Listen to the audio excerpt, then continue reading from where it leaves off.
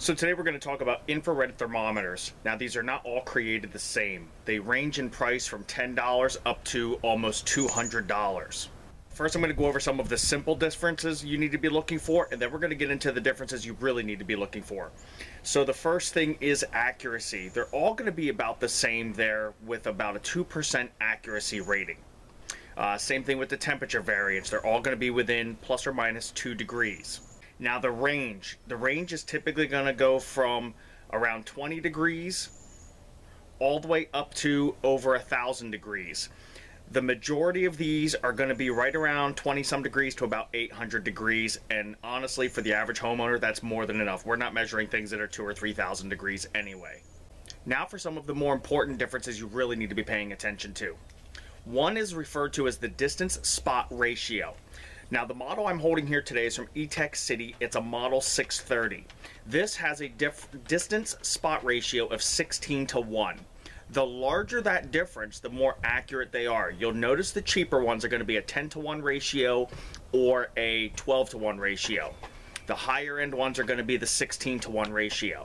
Another one of the most important differences you need to be looking at is the ability to adjust what they refer to as the emissivity that variable is what gets you the accuracy for the different materials. And it's basically the reflectiveness of the material you're measuring. So for example getting a measurement off of wood is going to be different than getting a measurement off of a porcelain tile if you have a tile floor for example. So the ability to adjust the emissivity value is going to give you much better accuracy. So now let's head inside and cover how to use these and we're, again, we're going to be using the Etekcity Model 630 in this video. Now there may be slight variances depending on which particular model thermometer you buy, but for the Model 630 here, we just open up the trigger guard and inside there is where our 9 volt battery goes. Now to turn it on, we simply press the trigger and it turns on. It'll turn off automatically. It'll time out after so many seconds of not being used. And then to turn on the backlight, we just simply press this button and we have our backlight. So going through the modes of this particular Model 630, we start off with the HAL, which is on the left-hand side there. That's a high temperature alarm. The thermometer will beep continuously if a temperature greater than the set value is recorded.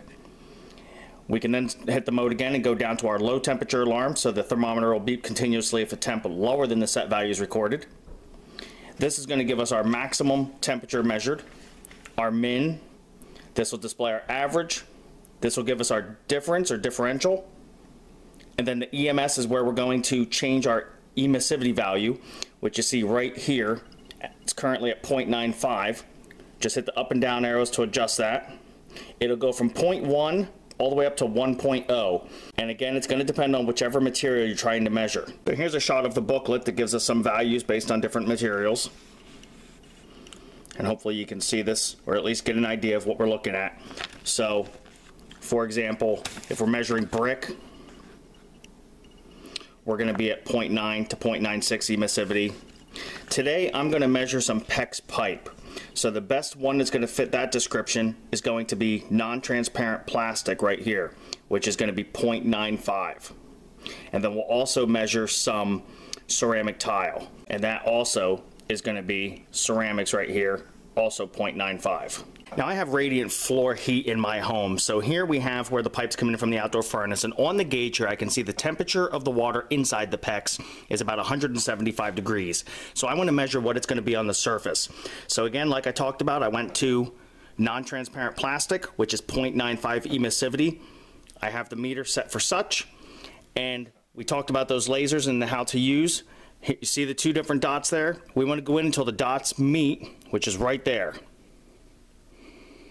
And so I am measuring about 156 degrees on the surface.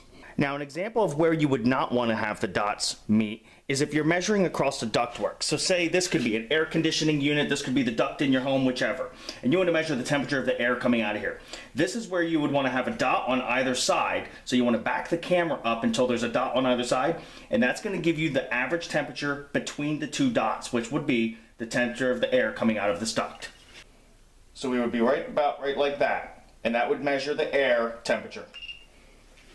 So that's how you would use it for HVAC purposes.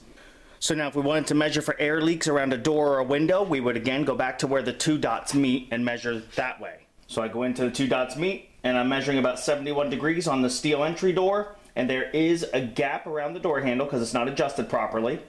And so we have an air gap there. And so it immediately drops down into about 60 degrees. So I can see I have an air leak there. So for our final demonstration, we're going to measure ceramic tile floor here in the bathroom. And this is an interesting one because the way the foundation was, I couldn't get PEX piping all the way against the exterior wall. So there's no PEX piping under this floor, but there is over here. So this, when you're standing at the toilet, for example, you'll have one cold foot and one warm foot. So going down to where the two dots meet, we're measuring about 87 and a half degrees. And when we come over here to where I know there's no PEX piping under the floor, we immediately drop down about 68 and a half degrees. So at least a 10 degree difference. So as you can see, these infrared thermometers have a lot of uses, both around the garage, the home, for cooking, so on and so forth.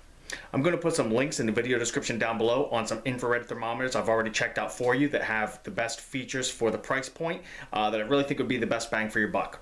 You can also go over to my Amazon store, amazon.com slash shop slash rednecktech, where I have more reviews of other products you may find useful around the home and garage.